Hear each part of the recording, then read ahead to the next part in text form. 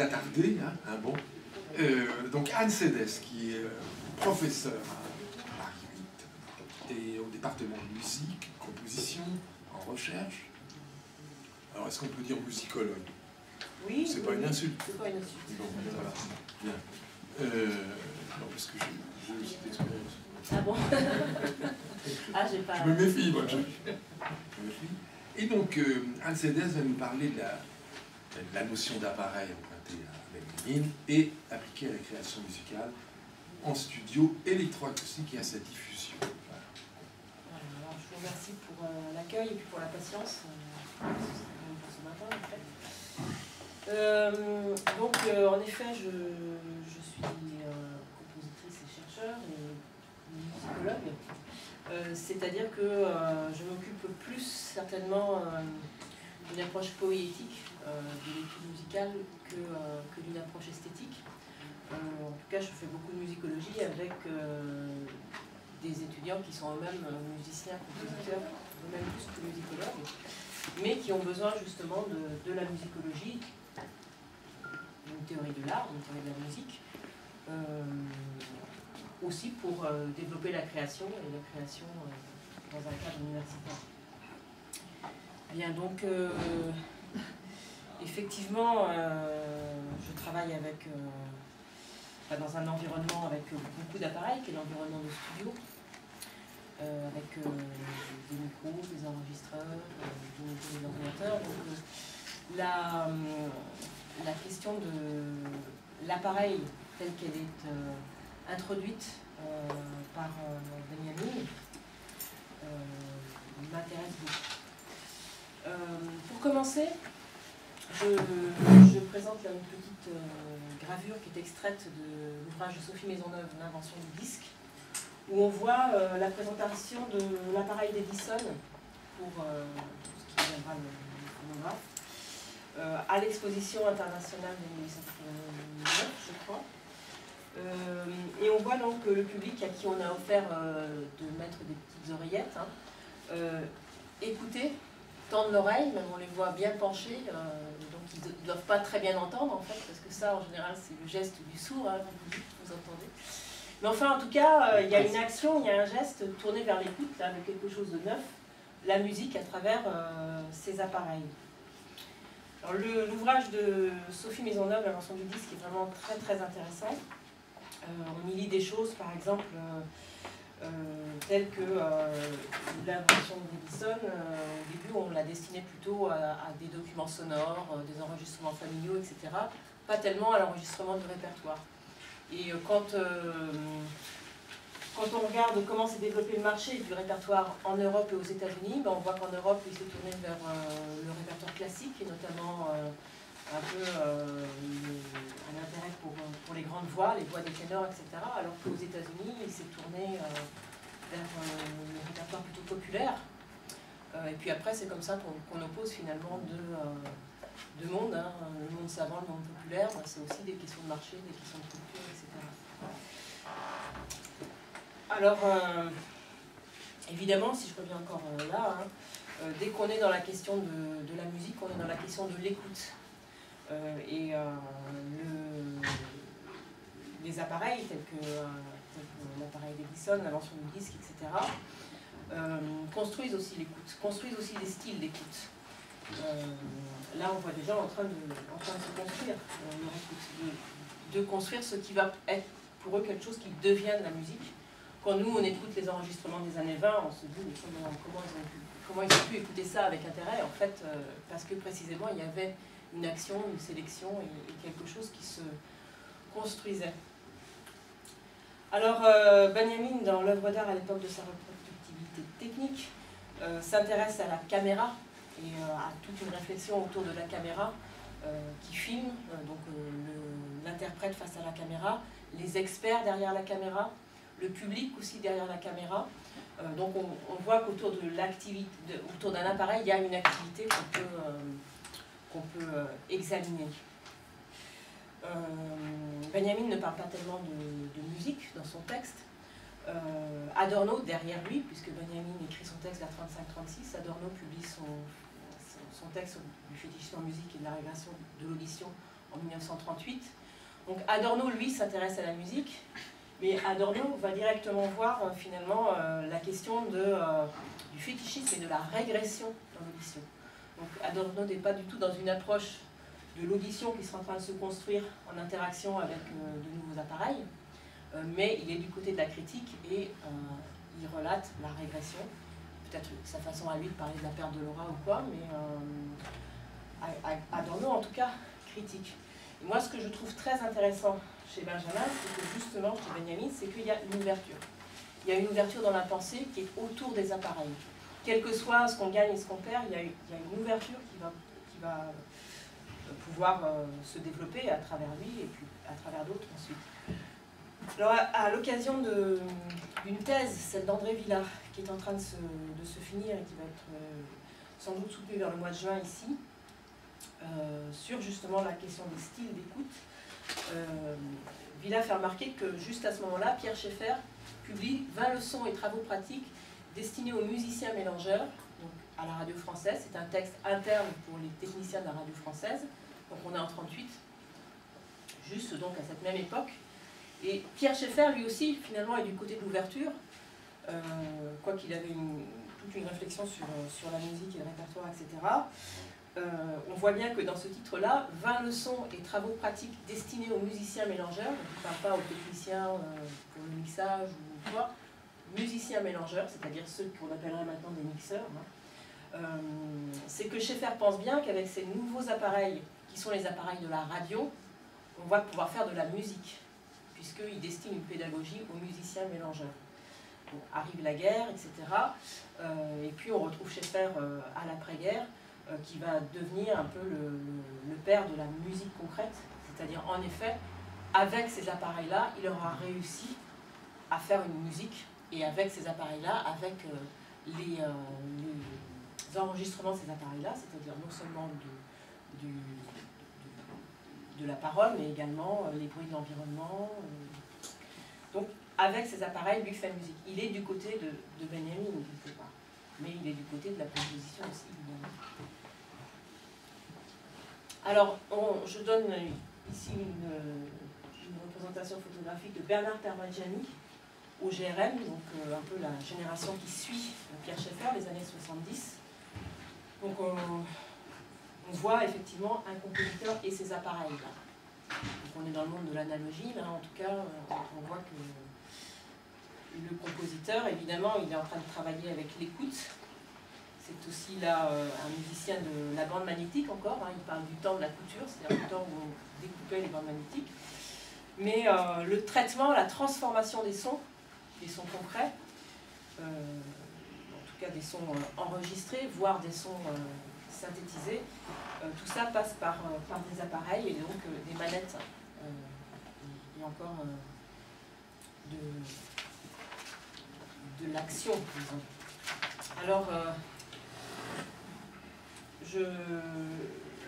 j'évoque au passage donc cette fameuse thèse d'André Villa qui vient de se finir dans notre équipe, réflexion interdisciplinaire sur la perception musicale et les styles d'écoute collectif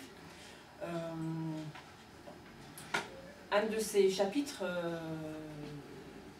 un des chapitres de cette thèse euh, traite euh, finalement de la musique et des mutations technologiques, c'est-à-dire comment, par exemple, l'introduction de, l'enregistrement, du disque, l'introduction des instruments électroniques, mais aussi les, nouvelles, les nouveaux usages finalement, hein, à travers l'écoute, le disque, etc., font complètement changer notre, euh, notre rapport à la musique, en fait, notre, notre écoute de la musique. Et évidemment, nos manières de faire. Alors Villa, lui, euh, s'inscrit dans un cadre euh, épistémologique finalement et, et s'appuie sur les styles de pensée et les, les, collectifs de pensée tels que Ludwig Fleck dans les années 30 également avait, euh,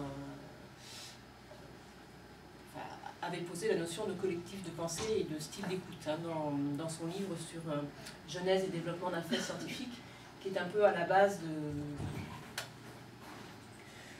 des études épistémologiques, en tout cas qui est une référence. les styles d'écoute et les styles de pensée, la musique ou les manières de faire sont, sont toujours en évolution, sont liés à un contexte culturel et, sont très liés à, la question des appareils et aux, mutations technologiques.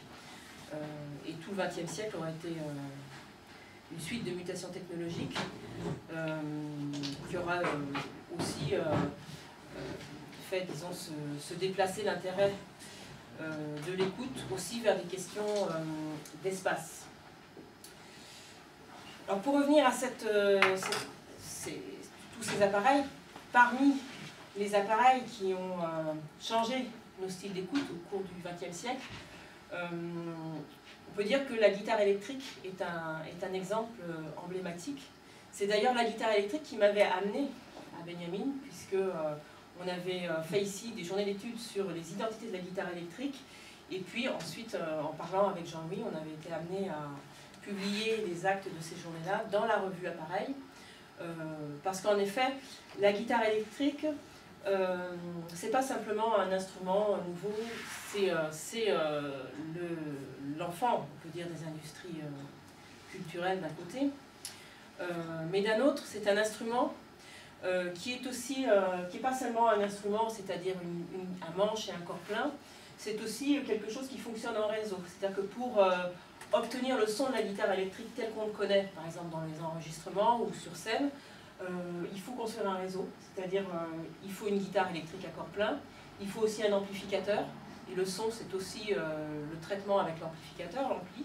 On ne le voit pas là sur l'image, mais il y a toute une, tout un environnement de traitement du son sous forme de pédales. Donc les guitaristes en fait se singularisent une construction du son à travers des pédales en, réseau. Et de nos jours, il y a en plus l'ordinateur qui, peut émuler euh, les pédales, les amplis, etc. Donc la guitare électrique, c'est déjà euh, un appareil et c'est un appareil en réseau. Et on pourrait dire, euh, comme on a un peu tenté de le dire dans, dans, la revue Appareil, hein, que en effet c'est aussi un ensemble d'appareils ou un appareil qui apparaît une époque, qui fait apparaître une époque, pour moi sur le plan esthétique, mais aussi sur le plan, et j'insiste là-dessus, euh, poétique, c'est-à-dire euh, du côté des manières de faire, euh, aussi, ça, va aussi transformer, transformer finalement ce que j'appellerais un peu plus loin les, espaces composables.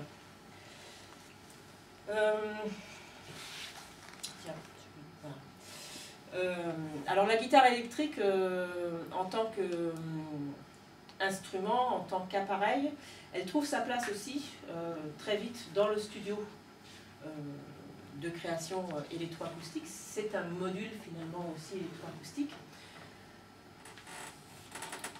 Donc euh, d'un côté on connaît la guitare électrique un peu avec le Guitar Hero, hein, presque quelque chose de symbolique, mais on ne doit pas oublier par exemple que c'est avec la guitare électrique que les, les, traitements finalement, la réverbération et tout ce qui va constituer par exemple des styles, des styles rock depuis le rockabilly des années 50, c'est la guitare électrique qui va être le vecteur de ça, qui va porter les réverbérations, qui va, euh, qui va euh, être un des principaux instruments du studio.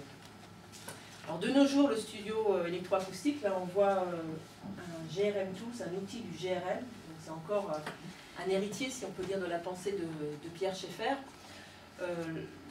Là, en fait, on a sur, ce, sur cette image un, logiciel, euh, une interface logicielle d'un traitement.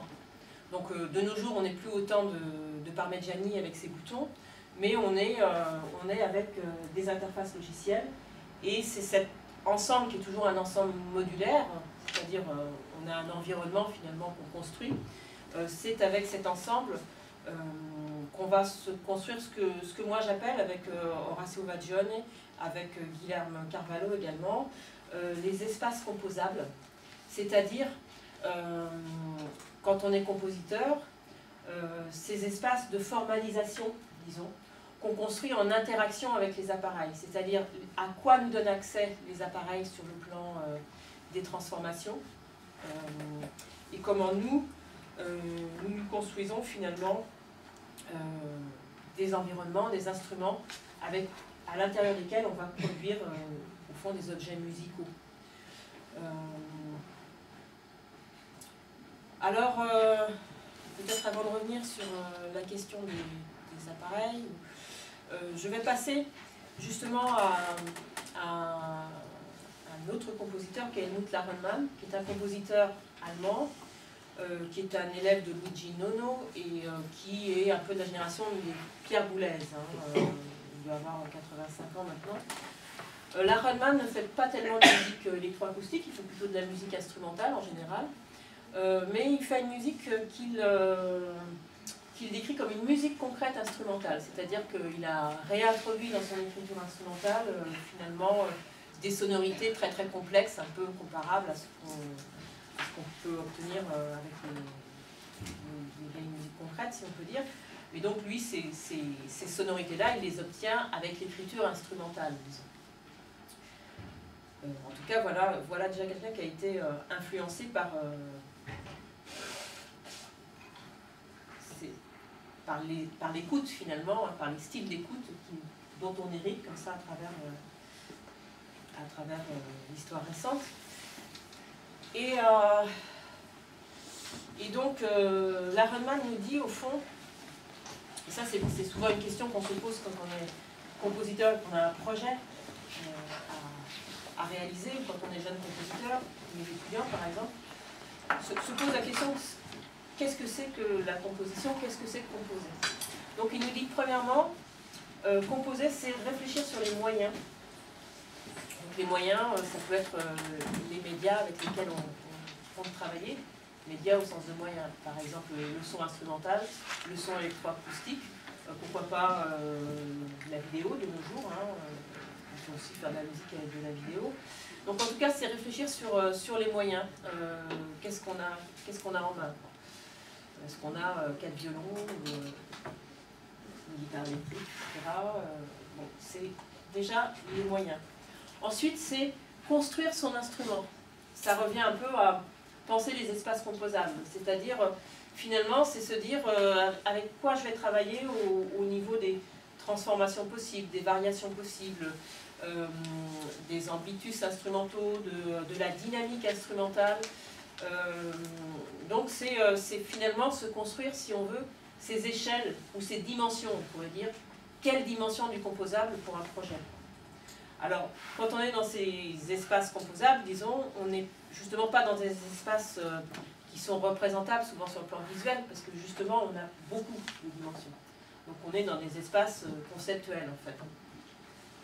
Et puis ensuite, c'est euh, non pas se laisser aller, donc là je, cite la traduction, mais se laisser agir, c'est-à-dire, j'aurais presque tendance à dire let's go, c'est-à-dire entrer dans l'action avec cet instrument-là, dans ces environnements-là, et, euh, euh, construire ce qu'on pourrait appeler des objets musicaux ou bien, ou bien euh, des espaces composés, donnés à entendre, on peut aussi dire ça comme ça.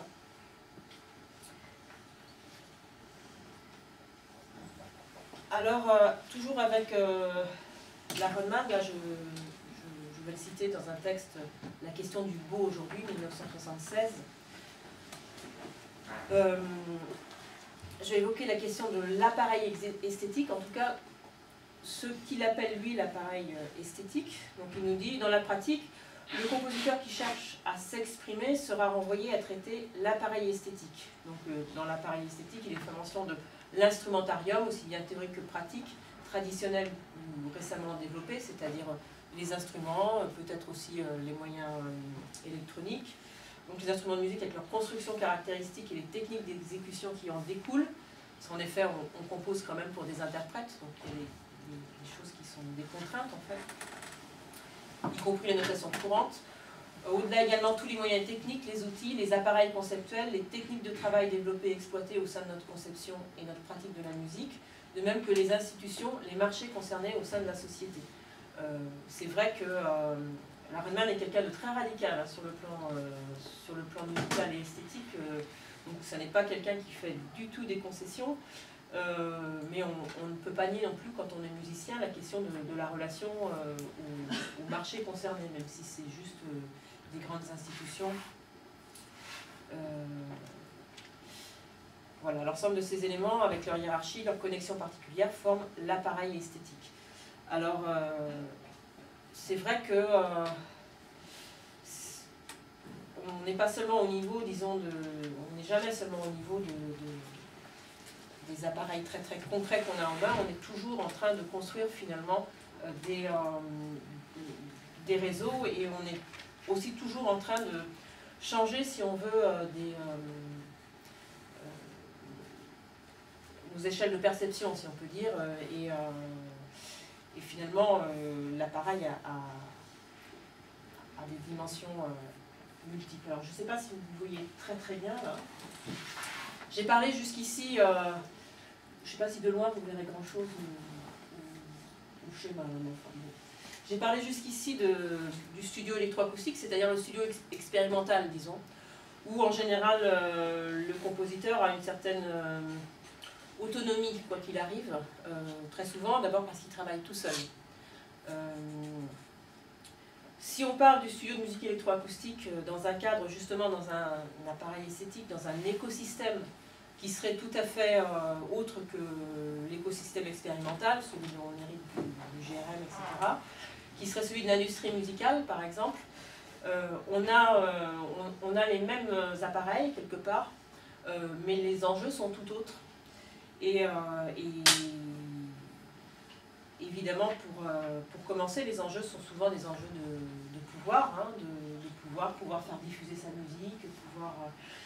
Euh, alors j'ai un peu regardé cette question-là, donc on passe là de l'appareil esthétique à tout de suite une pensée écosystémique, hein, c'est-à-dire on, se met dans un, dans un milieu qui pourrait être par exemple le milieu de l'industrie de la musique,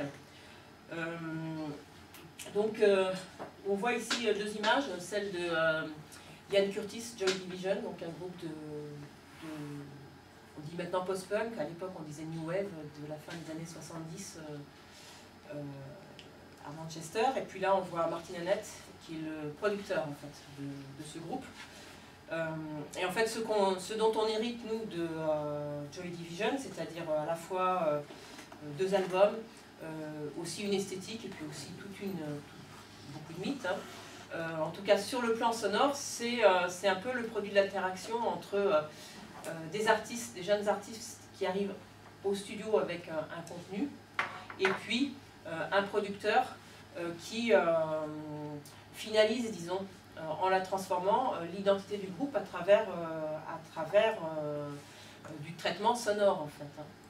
Euh, disons que l'identité de, la musique de Joy Division va se faire en interaction avec euh, euh, ce que va proposer le producteur derrière ces appareils. C'est-à-dire,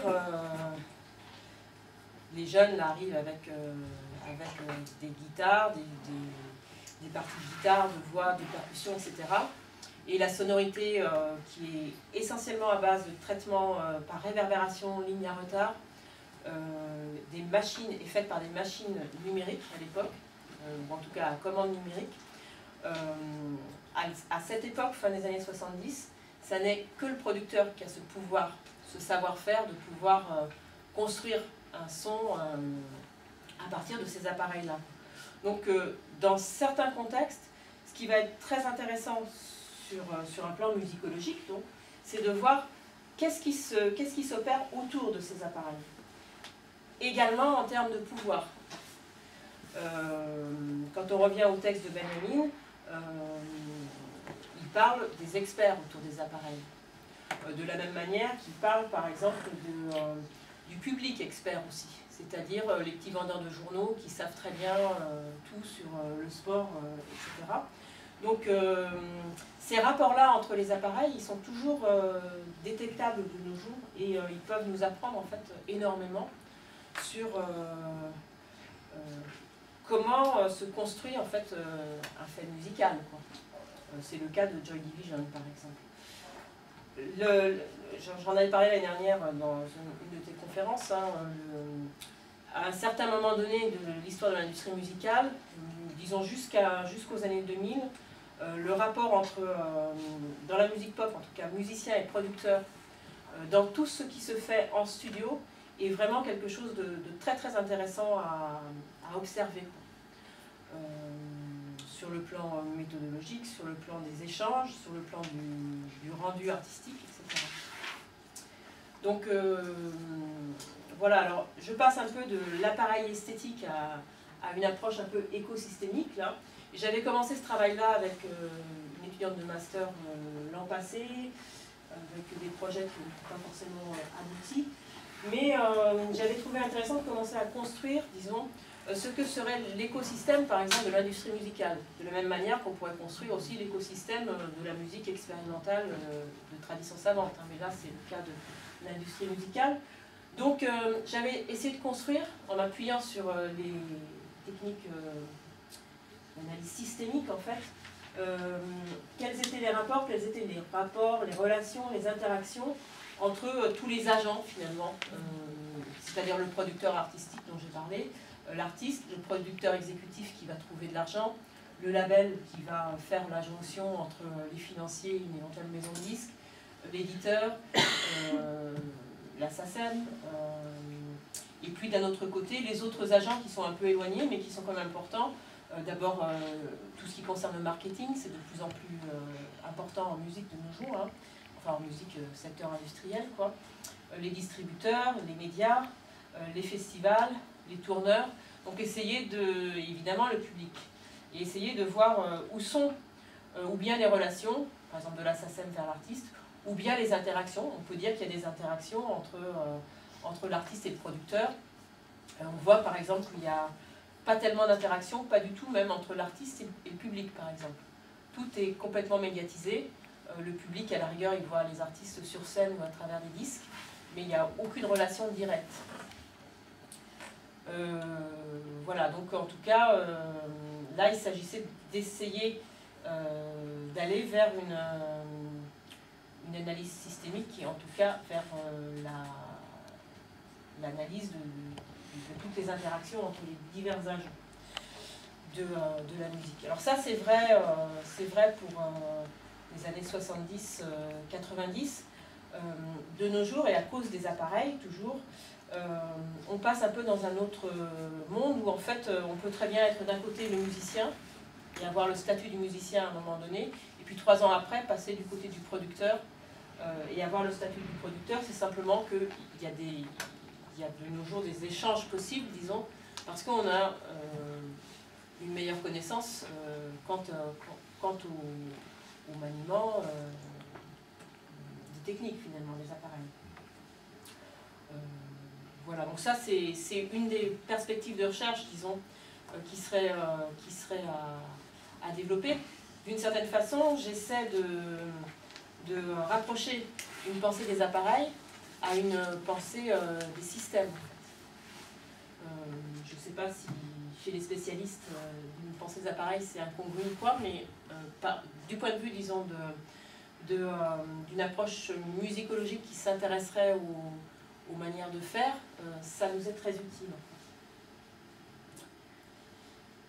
Alors, euh, juste pour, ça, pour finir l'exposé, c'est encore une... c'est un peu un clin d'œil qu'on trouve souvent. Hein, ça, c'est un, c'est un, extrait des carnets de Beethoven. Euh, on a tendance à, à, penser Beethoven comme euh, le génie euh, qui avait tout en tête en fait et qui, balançait tout sur papier, de toute façon étant sourd, il ne pouvait pas faire autrement. Et en fait, on voit bien qu'il est en train d'interagir avec son appareil. Parce que son appareil, c'est du papier, c'est de la partition, c'est du symbole, et il est en train de raturer, de, de, revenir en arrière. Donc voilà, on est toujours en fait dans ce, dans ce monde-là. Donc, pour finir, en espérant que, les choses vont marcher justement, euh, est-ce que là il veut bien? Voilà, ça marche encore, formidable. Alors je ne sais pas si l'appareil là-bas marche encore. Mais euh, ici en fait, alors euh, ça c'est encore le travail d'un autre doctorant, Sinan Bokeseuil. ce, ce logiciel là en fait, c'est un logiciel de synthèse stochastique. Euh, donc la synthèse stochastique, c'est quelque chose qu'on a en héritage de Yanis Denakis, qui était euh, aussi, euh, vous le savez tous ici, un architecte, en tout cas qui avait une réflexion sur l'architecture et la musique, etc. Donc ce logiciel, euh, alors voilà quelqu'un qui a, qui a, poussé quand même loin les études en C, puisqu'il a, a été écrit en, langage C, ce logiciel, donc par un musicien électroacousticien. Euh, en gros, ce qu'il nous permet de faire, c'est euh, par exemple de, de, charger des sons, des sons extérieurs, et puis de les traiter, de les transformer de façon plus ou moins aléatoire à trois échelles temporelles, donc au niveau macro-temporel, mésotemporel et micro-temporel. En fait, euh, en musique, on est tout le temps en train de, travailler les échelles et euh, souvent de construire des espaces sonores sur des échelles qui sont en général euh, temporelles, toujours temporelles, mais à diverses échelles. C'est-à-dire, par exemple, tout ce que vous percevez de la spatialité, de la stéréophonie, c'est du jeu sur le temps à des, des microsecondes, disons. Euh, ensuite, quand on est au temps de l'événement, de l'objet sonore ou de la note, bon, ça c'est un peu euh, l'événement perçu comme une unité pour nous. On est toujours en train de jouer finalement avec la perception. Puis le, macro-temps nous dépasse complètement parce qu'on est incapable de le saisir euh. Donc voilà, ce logiciel il joue avec, avec ces, trois échelles et avec divers niveaux stochastiques, disons, de distribution aléatoire qui peuvent être doser. Quoi. Donc euh, j'espère que la machine euh, derrière fonctionne encore. Donc en fait, vous voyez, j'ai des cycles. On entend des cycles, euh, on voit des choses tourner, c'est une représentation comme une autre. Mais en fait, j'ai deux sons qui se superposent. C'est pas grand chose, hein. il a un, son de cymbale qui un peu traité, c'est un son de piano aussi, ce son que, vous entendez là. C'est encore comme un son de piano, mais. Alors je vous invite à venir à la pause du corps. Donc là, euh, j'ai relié euh, ma fameuse Mirimote héritée du monde du jeu vidéo. Elle est reliée par euh, Bluetooth. et donc, en fait, c'est les variations de mon poids. Puisqu'en principe, ça s'est fait pour faire du sport avec un jeu vidéo. Et là, c'est les variations de mon poids, en fait, que j'ai mises en correspondance. Donc, Là, j'ai finalement deux échelles, un X et un Y. Ça correspond, euh, je varie des coordonnées, les coordonnées d'un point en fait, en fonction de mon poids.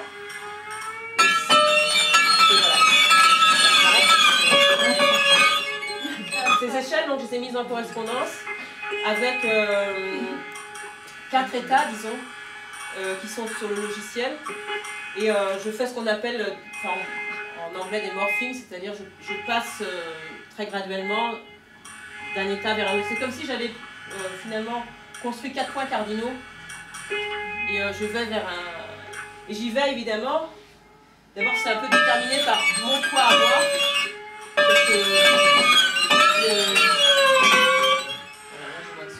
le, euh, comment dire? Le calibrage de cette machine c'est pour jusqu'à 120 kg je crois. Donc moi j'en pèse que 62. Euh, euh, et, surtout, je me promène en fait en faisant euh, une sorte de boucle entre mon retour d'écoute et puis, et puis mon, ressenti. Parce qu'en fait, tout ça c'est très physique quand même. Donc, vous, quand vous allez essayer, vous ne ferez jamais le même poids que moi et vous n'aurez jamais la même attitude sur le plan de l'écoute parce que ça n'appartient qu'à soi l'écoute en fait. Donc, Enfin bon, c'est pas. Ce que vous entendez là, c'est tout à fait. Euh, une petite maquette, hein, c'est pas, pas très très composé. Mais j'utilise beaucoup cet appareil-là dans des installations. Euh, et j'ai pu remarquer par exemple que euh, pour, pour un public par exemple de, personnes âgées, c'est-à-dire de, de, personnes un petit peu fatiguées avec leur ressenti par exemple, notamment avec des installations avec un casque par exemple, j'ai vu des personnes rester 20 minutes là-dessus avec des choses moins chargées que ça quand même. Hein. Mais vraiment qui étaient heureux de, jouer avec leur corps en fait, et avec l'écoute. Euh, donc je trouvais ça euh, intéressant pour euh, voilà, donner un exemple de perspective musicale, quoi. De, présenter une, proposition qui est en fait complètement irreproductible pour le coup. Hein. Si on parle de la reproductibilité des œuvres d'art, là, le dispositif matériel est reproductible, mais pas du tout ce qu'on peut, ce qu'on peut faire avec.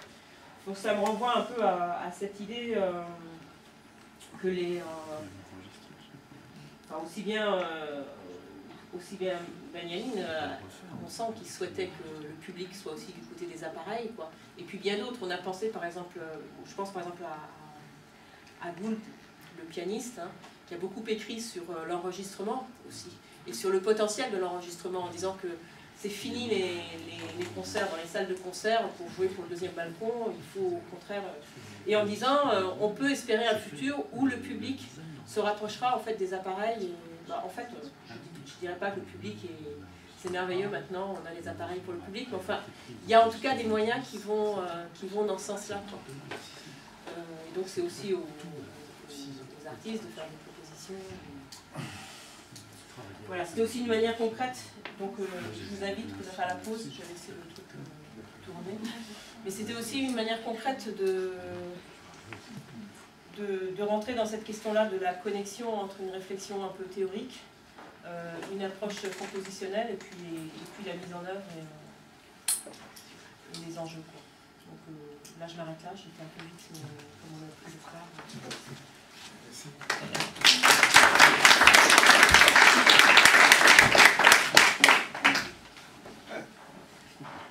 Alors, je remets ça, je mets-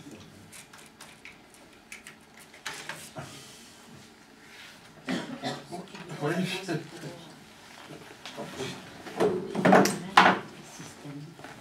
Non, non, c'est deux, deux, deux, deux- deux points d'information. Juste, euh, je pense que la, la position d'Adorno Ah euh.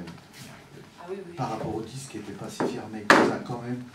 Euh, Il y, a deux- il y a deux textes d'Adorno qui sont tout à fait passionnants parce qu'il il, il considère le disque et l'écriture du micro-sillon.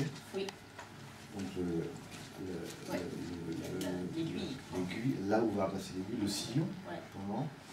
Il parle, il parle de ça en, en termes de- de- d'écriture f- originaire. Alors ce texte s'appelle euh, La forme du disque, et il y a, qui date d'avant-guerre, si j'ai bonne mémoire. Il y a un deuxième texte qui s'appelle euh, Disque et o- opéra, dans lequel il dit que c'est quand même beaucoup mieux d'écouter des, des disques chez soi, d'opéra, plutôt que d'aller dans une salle de concert, parce qu'il y a toujours des voisins qui font du bruit, etc. Et que ça dérange considérablement. Donc la vérité de, la vérité de la musique, d'opéra, est plutôt accessible grâce à l'appareil de l'enregistrement et donc du disque que dans l'appareil, parce que c'est quand même un appareil aussi de la salle de concert, que dans l'appareil de la salle de, de la salle de concert. Donc il faut. Oui, oui, oui. Et deuxième point, s'agissant de ton ton analyse systémique, puisque ton point de départ euh, c'est le cinéma, enfin, Oui, oui, euh, eh ben, le, le- le travail a déjà, enfin, me semble déjà f- fait D'accord, ouais. au niveau du cinéma, dans la, dans, dans, dans- dans la, dans la mesure euh, où on peut effectivement montrer qu'il n'y a pas de film sans producteur, sans capital, sans réseau de distribution, etc. Et là, je- bon, il y a quelqu'un qui est déjà venu ici, euh, qui travaille à l'université de Constance en Allemagne, qui s'appelle euh, Beate Oschner. Oschner. Je donnerai ses références si tu veux. Et donc c'est le, c'est le boulot, c'est-à-dire d'analyser non pas l'œuvre euh, cinématographique en tant que telle, mais plutôt l'environnement produ- productif de, de, de l'œuvre. Voilà. Puisqu'on a affaire à des industries culturelles. Et c'est quand même important, c'est que ton analyse, me semble-t-il, euh, déconstruit de fait euh, le, le- le vieux truc classique, euh, l'opposition classique entre industrie culturelle d'un côté et création artistique de l'autre. Là, on voit bien qu'on ne peut pas faire la distinction. Et là, enfin, je veux dire, c'est quand même important de le rappeler parce que sans arrêt, on a affaire à des gens qui nous parlent de l'industrie culturelle aliénante. Oui, c'est ça. Là, bon, on voit bien que tu peux- on ne peut pas dissocier. On ne peut pas dissocier la production musicale de l'industrie culturelle. D'autant que, un peu la différence du cinéma, euh, les différences d'échelle sont, sont pas si importantes. C'est-à-dire que même euh, faire un, un album qui serait quelque chose de mondial, etc., euh, c'est avec une petite équipe, c'est quand même pas. donc voilà, ça c'est aussi important. Bien, merci.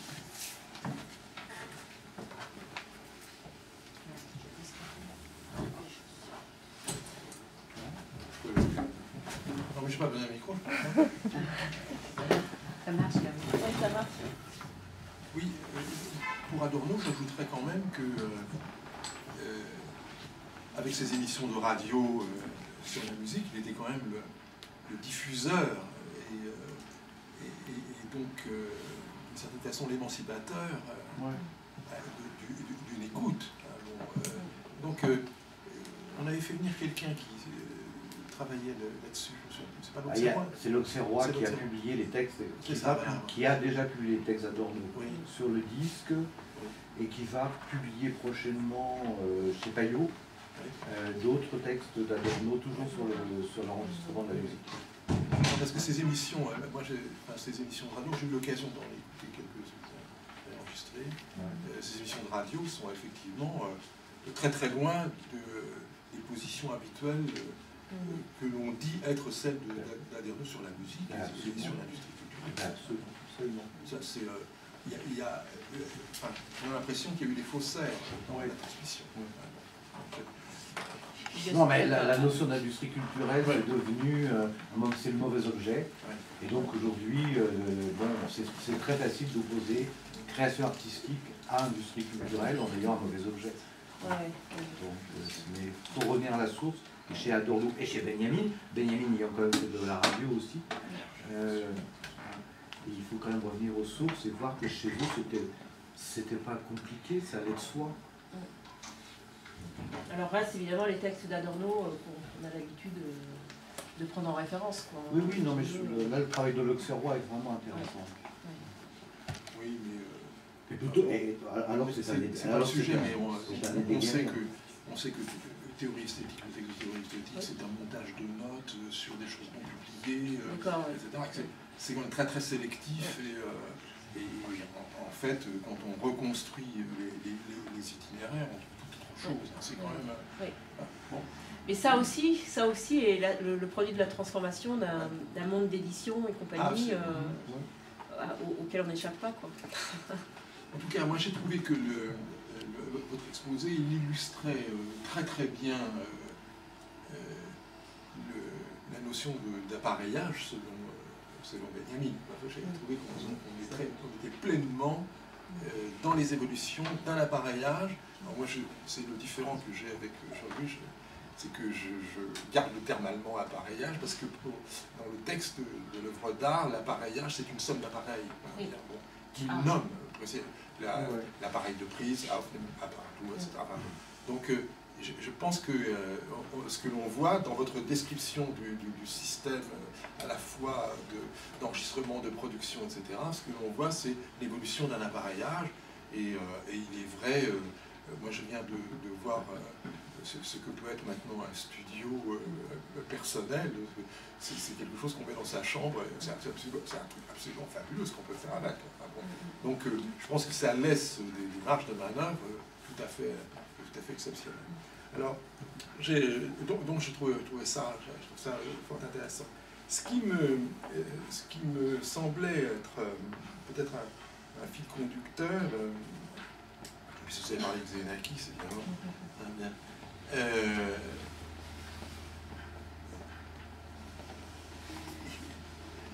il y a des transformations. Moi, je, je, il se trouve que j'ai j'ai suivi tout ça, c'est pour ça que j'étais dedans. Donc, euh, euh, et j'ai le souvenir de, Xenakis organisant euh, pour la première fois le, concert de Varese, une création en 29, rugissement de Lyon et 12 percussions, etc. Et, et donc avec ce dispositif d'un public au milieu, les percussions, c'était les percussions de Strasbourg d'ailleurs, hein, euh, autour, le rugissement de Lyon, etc. donc c'était, euh, vous voyez, ça doit être en 64, 65, je dis 29, 64, c'était la première fois que c'était joué euh, en France.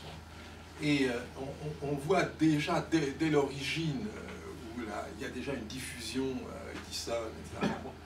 on voit déjà que le rugissement de Lyon est, présent. Quoi. Bon, et un nouveau rapport au public, un nouveau rapport à l'appareillage de, production qui, est, installé et qui est mis en place euh, de manière évidente. Et on a, l'impression qu'effectivement, euh, tout ce jeu sur euh, la prise de son, sur sa restitution, sur la position de l'acteur, la position du spectateur, le collectif créé, tout ceci, je ne dirais pas est déjà là, mais constitue les départs de, des transformations précisément liées à l'appareillage que vous, que vous avez décrit. Et je trouvais ça fort, intéressant. Euh,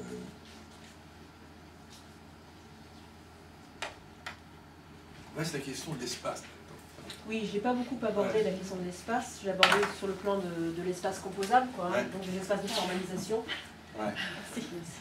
Des espaces de formalisation. Je n'ai pas abordé la question de l'espace comme une des principales dimensions de, de notamment la musique électroacoustique. Hein. euh, c'est une de mes spécialités par ailleurs, mais ce n'était pas, l'angle euh, d'attaque là.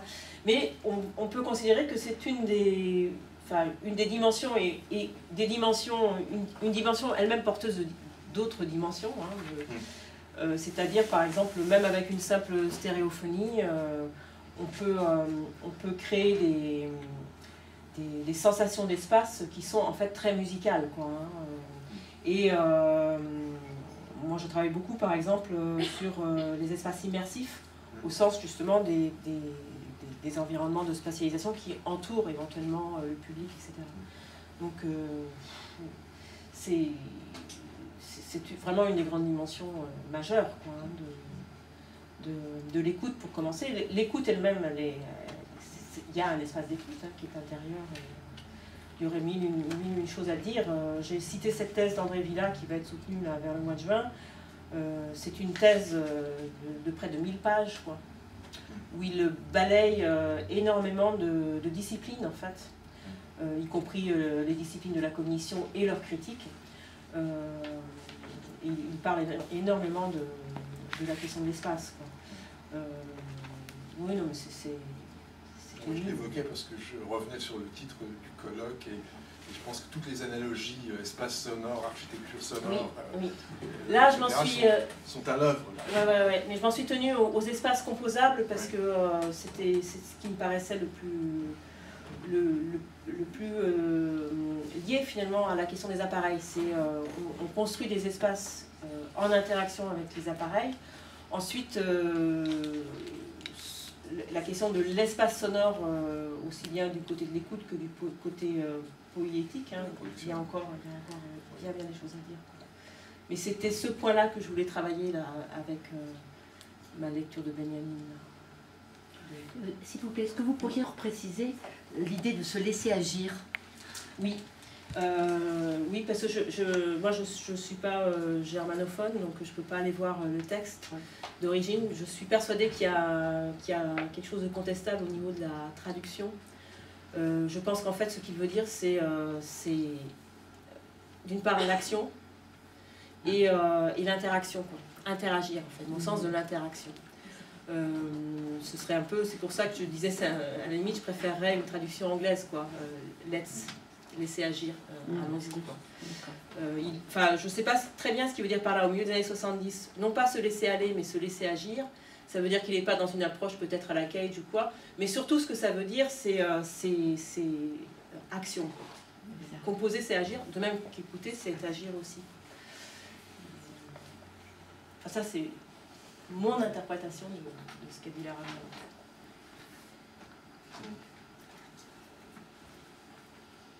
Bien, merci. D'autres questions? Merci. Merci beaucoup. Alors, euh, on écoute euh, Maria Emilia.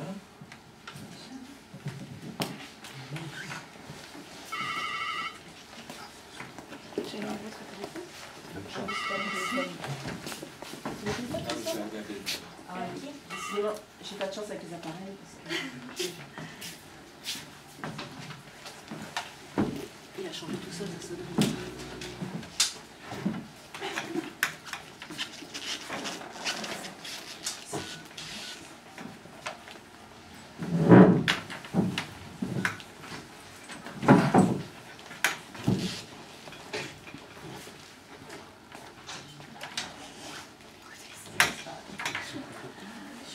Vous avez besoin de brancher déjà.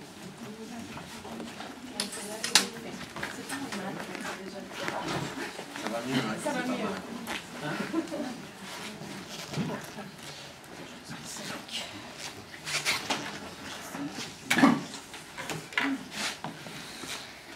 Bien, écoutons maintenant euh, Maria Emilia Tijoux, sociologue, Université du Chili, San- San- Santiago.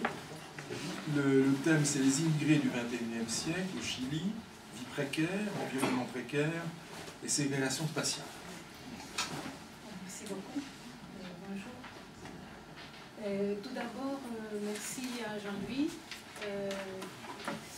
Et je ne sais pas si ce que je vais dire rapport intéressant avec ce que vous faites. J'espère, je l'espère sincèrement. Euh, c'est vrai, je remercie la gentillesse de Jean-Louis aussi de m'inviter euh, parfois dans des endroits où je ne sais pas si ce que je vais dire compte, mais j'essaye de faire de mon mieux. Merci aussi aux organisateurs euh, de, de ce colloque euh, et la possibilité de, partager avec vous euh, quelque chose sur l'espace. Pardon? On a pas- Et c'est quelque chose- Attends.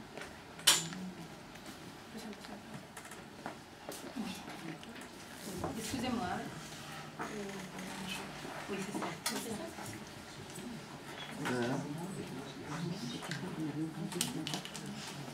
Non, euh, c'était très très compliqué.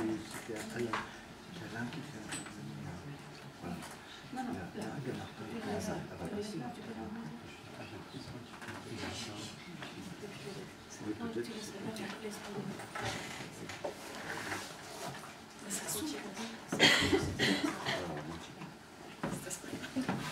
je disais que je remercie l'invitation et, euh, et l'occasion aussi de partager avec vous euh, quelque chose sur le Chili, mais qu'en fait euh, c'est une situation et c'est aussi euh, un problème euh, mondial. Mais c'était par rapport à l'espace que je m'intéressais euh, à partager justement avec vous ce que touche actuellement la migration, ce qu'on appelle la migration du XXIe siècle. Donc les propos de cette intervention, c'est de rendre compte de ce qu'on appelle, hein, je ne suis pas toujours d'accord avec ce mot-là, mais l'occupation ou l'appropriation d'une rue, c'est une seule rue, et l'entourage de cette rue, en plein centre de Santiago du Chili. Et je dis en plein centre parce que ça se trouve, euh, bon, vous voyez ici, c'est la place, ce qu'on appelle la place d'armes.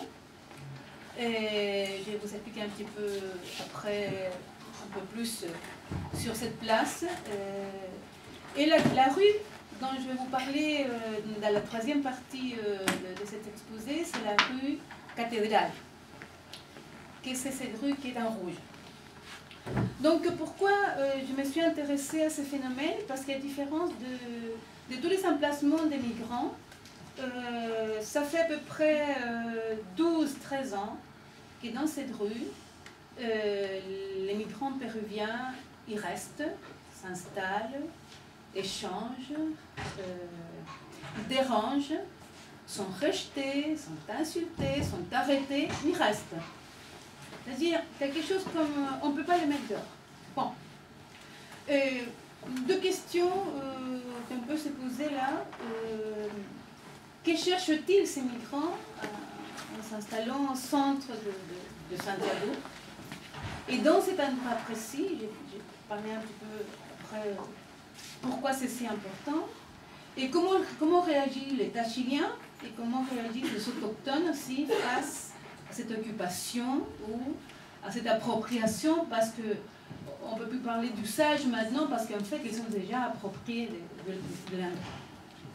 Donc pour la présentation, je vais euh, en trois parties. Tout d'abord, euh, euh, quelques informations sur la migration au Chili. Ensuite, euh, une caractérisation euh, générale sur la migration péruvienne actuelle. Et troisièmement, parler de cet emplacement qui touche effectivement au problème de l'espace public, même si chaque fois qu'on parle de migration, on parle de l'espace public. On parle de territoire, on parle de changement de territoire. euh, tout cela dépend si les migrants sont des migrants bienvenus ou malvenus. S'ils sont bienvenus, l'espace euh, se transforme, les mètres carrés euh, peut coûter beaucoup plus cher. non. Si c'est l'inverse, euh, la chose change. Mais de toute façon, euh, ça change toujours et on verra bien pourquoi je raconte ça. Il y a sur ce problème beaucoup à réfléchir encore. le regard qu'il y a ici, c'est le regard des séances sociales, c'est un travail de terrain depuis très longtemps, c'est des rencontres avec ces migrants, donc c'est encore un regard sociologique et encore avec beaucoup de critiques parfois de la part d'une certaine sociologie, mais avec un intérêt, de, comme je disais, de partager là-dessus. Et tout d'abord, le Chili, ce n'est pas un pays de grande migration, hein, à différence de l'Argentine par exemple, ou du Brésil et le Chili n'a pas eu de grandes vagues migratoires. Hein. Mais il y en a eu quand même. Il y en a eu quand même, mais pour, euh, pour ne pas être trop longue, je parlerai au moins euh, très vite de trois grandes vagues d'émigration qui comportent l'immigration et l'émigration. Donc, euh, des gens qui arrivent, des gens qui partent. Et il y a une première vague migratoire dans, le 19e siècle qui est en rapport avec la constitution de la nation chilienne. Et à ce moment-là, euh, l'État chilien invite des, migrants européens à habiter au Chili. Mais surtout des migrants allemands, suisses, du nord de l'Europe, et dans le but de blanchir la race, blanquir la race. Je dis entre guillemets parce que c'était exactement ça. Et non seulement au Chili, ça s'est passé au Pérou, ça s'est passé au Mexique, ça s'est passé en Amérique centrale. Euh, euh, cette idée de blanchir, c'était parce que la question du progrès, c'était un progrès à l'européenne, dit de la même manière. Donc un progrès blanc. Et c'est un problème parce que effectivement, euh, il faut lutter avec deux corps très problématiques qui ne sont pas blancs, c'est les Indiens et les Noirs. Donc, ou bien on les assimile, ou bien on les complète, ou bien on les rejette, ou bien on les fait disparaître, que c'est une habitude de notre pays depuis bien longtemps, bien avant, bien avant 73. Donc, comme il fallait blanchir la race, dans le sud du Chili, euh, pour ceux qui connaissent, bon, a été peuplé par, de, par des colonies allemandes, des groupes aussi de, migrants, attention, qui arrivaient euh, avec, dans très mauvaises conditions, et cela dépendait quand même de la façon dont il s'est euh, avec l'État chilien. Et parfois, ça a eu des très mauvais euh, résultats, parce qu'il y a eu aussi des, groupes d'anarchistes qui sont allés, ça s'est très mal passé pour eux. Hein. Donc, euh, une, première vague migratoire, et, qui a fait que la construction du mot migrant, c'était une construction bienvenue au Chili. Quand on parlait du migrant, on parlait de quelqu'un de bien de quelqu'un bienvenu. Et après, pendant l'industrialisation, il n'y a pas eu de vague d'immigration, mais il y a eu des migrations internes, c'est-à-dire des gens qui euh, venaient de,